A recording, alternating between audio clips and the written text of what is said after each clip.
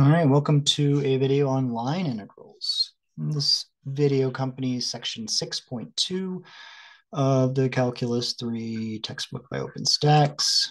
And we got two kinds of line integrals to talk about, scalar and vector. There'll be some interesting applications for work flux and circulation. For scalar line integrals, we've got a scalar function f, and we've got some curve c, uh, that's the line that we'd like to integrate along what we'll do is we'll break that curve up into a bunch of smaller segments, uh, and each one has its own length, and it goes from one point to another. Uh, so the length of a given segment is delta s, and we'll take that, and then we'll multiply by the value of the function at some point in the middle. So we'll pick some p star value in the middle of each segment, and we'll evaluate the function there and multiply that by the length. What does this represent? Well, the integral of f uh, along this line uh, represents the area of this curved sheet. In the same way that the integral of a function of a single variable represented the area under a curve, uh, except now instead of it just being along the straight x-axis, it's along this curve c. Uh, so kind of like a calc 1 integral, but you've taken the x-axis and you've curved it around. Here's the official definition for a scalar line integral. Uh, and it's written here where f is a function of uh, three variables, and then here f is a function of two variables. So it could be in two or three dimensions. We were just looking at the bottom example where it was a function of two variables. So uh, what if I had a real simple function two and I wanted to find the uh, line integral along C and C is the upper half of the unit circle, uh, which would be the bottom of this shape here. So, so there's the upper half of the unit circle. And then uh, this is two. So what do you think, A, B, C, or D?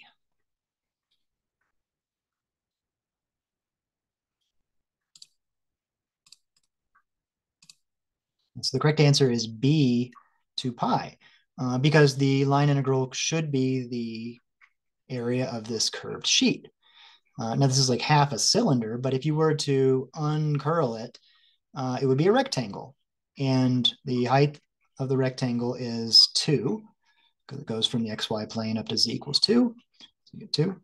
And then the uh, uncurled half circle would be pi um, because it's half of the unit circle. Unit circle has circumference 2 pi, uh, and so half of that would just be pi. So you get 2 pi, B is the correct answer. Uh, but the lesson here is that the line integral is just the area of this curved sheet.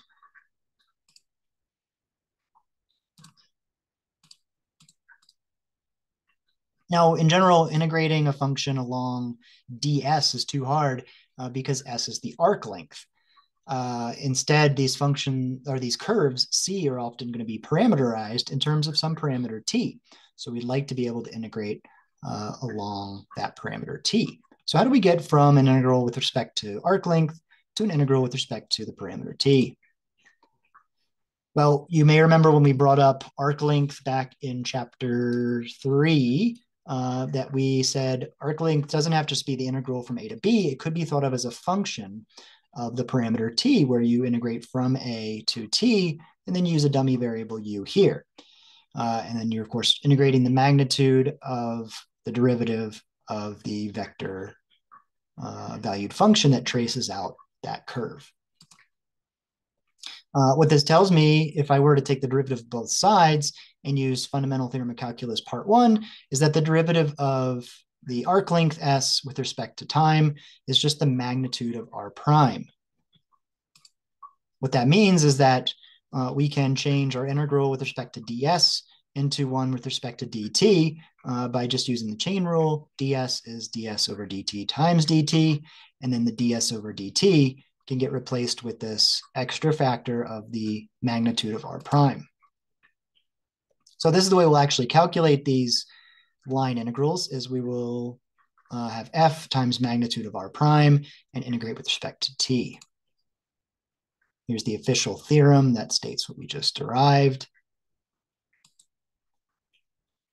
An application of this is that you can use it to find arc length. In this case, you'll just let the function itself be one, uh, and then this integral gives you the length of the curve.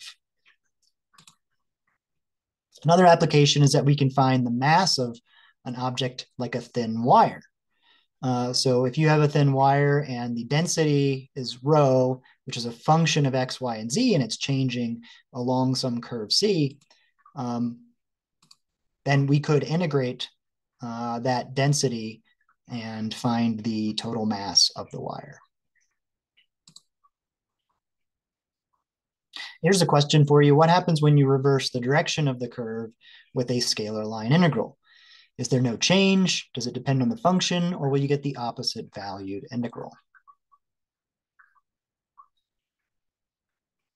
Uh, so it actually, uh, the correct answer here is no change, that you will get the same integral uh, if you reverse the direction of the curve, uh, because the parameterization would be the same. We're going to go ahead and jump into part two of vector line integrals here. Though you may want to pause the video and come back uh, after you've covered scalar line integrals in class. For a vector line integral, the function we're integrating is a vector valued function, like those from chapter three.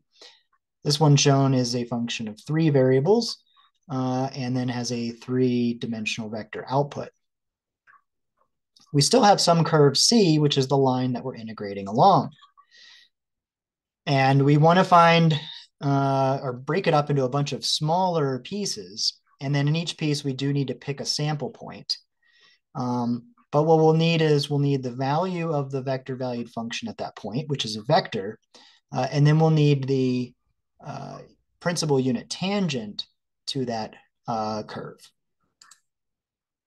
If we get the value of the vector function and the principal unit tangent vector, we want to take their dot product, multiply by the segment length, the arc length, and then uh, do that for each of the little pieces along the curve. And this will give us the vector line integral. What we're really integrating is the vector field dotted with the unit tangent vector from the curve. Now, again, this is an integral in terms of arc length s, which we don't really want, and we need to get it to the parameter t. So f can be written in terms of t by composing it with the parameterization uh, r of t. And then t, the principal unit tangent vector, was actually defined as r prime over the magnitude of r prime back in chapter three. Uh, similarly, ds will be written as ds over dt times dt, and we'll use the same substitution there. I guess that's a lot to say, so.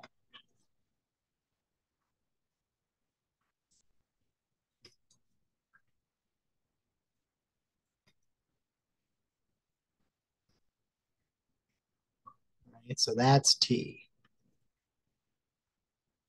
And then this is going to be ds is going to go to ds over dt times dt. And then we use the same trick where uh, our magnitude of r prime is ds over dt that we used in the scalar line integral case. So that gets us to there. And then these magnitudes of r prime cancel. And so what you actually have is f evaluated at r of t, dotted with r prime of t, and then you can integrate with respect to t. So while it says f dot t in the formulas, what you're actually doing the dot product with is f and r prime.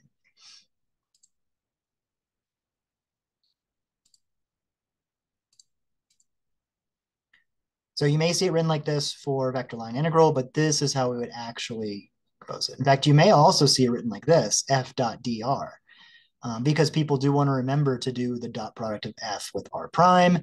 And so dr kind of reminds them of dr dt. And so f dot dr is a helpful reminder that it's the dot product of f with r prime. There's a bunch of properties in Theorem 6.5 they should look over. The usual suspects, you can distribute integration over a sum of vector fields. You can factor off a constant that's multiplied by the vector field. Um, here, if you uh, change change the order of or the direction you move along the curve C, it gives you the opposite result.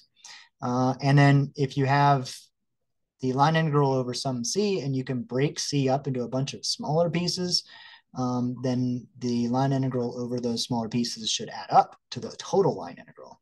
And this is good for complicated shapes like polygons, where we can go parameterize the individual straight length segments and then add up the total. A good application of this uh, vector line integral is that if we integrate uh, f, the vector function, as a force function, um, and then c is the uh, curve that you're moving a particle along by the force, uh, then this vector line integral gives you the work done by the force on the particle. We've been talking about curves uh, C and assuming that they kind of are an oriented curve that has a beginning and ending point like on the left. Um, but it's possible that our curve C would end up being a closed curve, uh, in which case there's not really a starting point or ending point. If we do a vector line integral along a closed curve, we think of it as a circulation integral. And like there's a special integral symbol, this little circle here. If you see that circle, then it means that C is a closed curve or loop. What this is actually doing is measuring the tendency of the vector field to move in the same direction as the curve C. Uh, if you get a positive result, it means that it's the same rotation you get a negative result, it means it's the opposite rotation. And if you get zero, it means it's orthogonal. So here's a picture of a curve C in red that we're going to use for a vector line integral. And then the vector field is shown by the vectors uh, as the blue arrows in the background. What do you think the sign of the vector line integral would be moving along here? So the correct answer should be B, negative. And we mentioned that negative result means that you're going in the opposite direction, and that's best seen right here at the top, where the uh, the curve C is going to the right, and then the vector field is pointing in the opposite direction to the left. Now you might be thinking, what about the other parts? Well, if you look at some other part, like here, yes, the curve is going up, but the vector field is zero there, so it doesn't have any effect on it. And so you're looking at the total kind of accumulation of whether it's positive, negative, or zero. And if you look somewhere in the diagonal, well, technically the vector pathway could be broken up into a part that's orthogonal, which has no effect, right? Zero uh, effect, and then a part that is pointing in the opposite direction. So the, any contribution here on the diagonal would actually still be negative because it's going uh, in the opposite direction. About this one. With this one, it should be positive. And it's best seen uh, over here where if you look at the curve on the endpoint, we're going down, and that's the same direction as the vector field. If you look here at the beginning, it's going up, and that's the same direction as the vector field. So you're going to get positive contribution there. When it's not going in that same direction, like here, uh, well, then the vector field is zero, so there's no contribution. And then on the diagonal, uh, again, you know, you could break this up into a part that's going with the curve, and that would give you positive, and then a part that's orthogonal, and that would give you zero. So you're going to get a positive uh, vector line integral in this situation. All right, and this last one is zero uh, because you can see that the curve is always orthogonal to the vector field, which is pointed radially inward. All right, and that concludes this presentation by Matthew Watts, which contains images and text from Calculus Volume 3 by Jed Herman and G. Strang. CC by NCSA OpenStax 2016.